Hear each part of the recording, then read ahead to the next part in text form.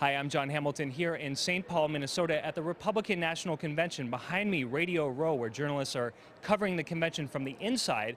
On the outside, a very different scene. On Monday, there were massive protests in the streets of St. Paul, and many journalists were swept up in the arrest by police.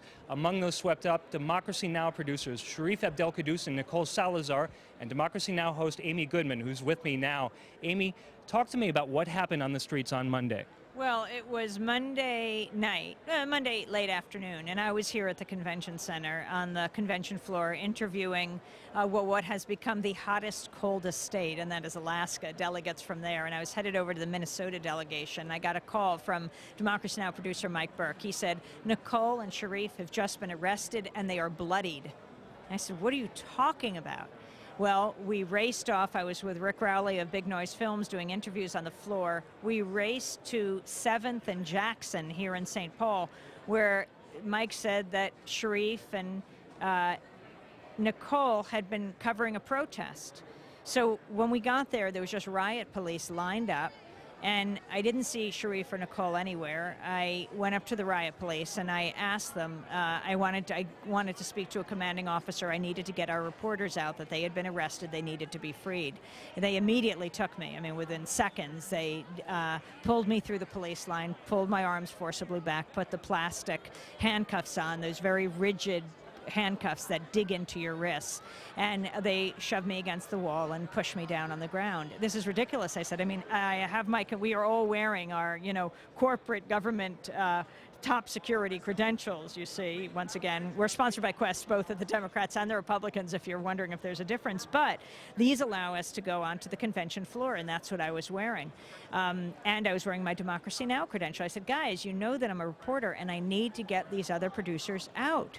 Um, so I saw Sharif. He, his arm was bloody. He was across the way. He was handcuffed. His hands were behind his back. I demanded to be brought to him. They brought me over to him. And I said, guys, look at our credentials. And at which point, um, I was arrested by the Minneapolis police, but a man with the earpiece came over and he ripped my uh, press pass off. And I said, uh, why did you do this? And I said to the police, why do He said, not us, he's Secret Service. So they took my police credential. Um, I demanded to see Nicole because they said her nose was bloodied. I said, I need to see that she is okay, and I need her to be freed. And one of the police officers said, listen, I was knifed in my life. What's a bloody nose? I said, excuse me, I'm sorry you were knifed in your life, but that had nothing to do with us. This has everything to do with you. Why was she hurt? Here in the hands and the custody of police. And um, ultimately, I was put on the police wagon to be taken to jail, and Nicole was there wearing her press credentials as Sharif was. They knew exactly who we were.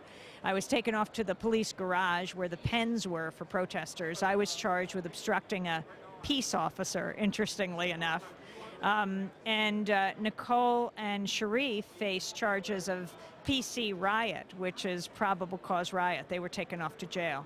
I was released after a number of hours. Ultimately, they were too. And the question is, will they drop all the charges against us? This is hindering journalists doing their job. I went to the police chief today, um, Chief Harrington. He had a news conference, the police chief of St. Paul.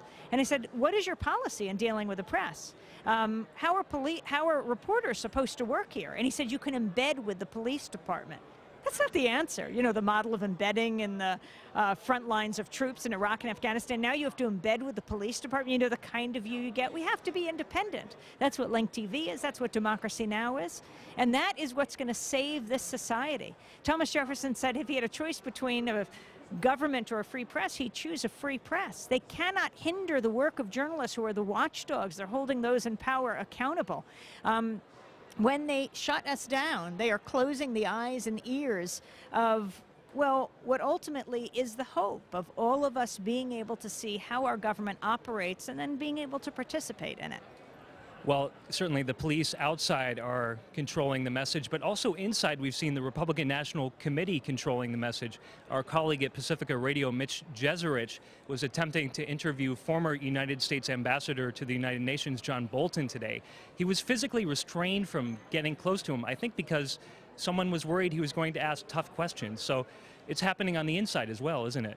Well, I mean, that's very serious, and all I take from that is thank goodness for Pacifica and how important democracy now is and why we need Link TV. We need independent media in this country. That's the hope. Thank you for watching this Link TV special, What Change Looks Like. See the full schedule at linktv.org/change.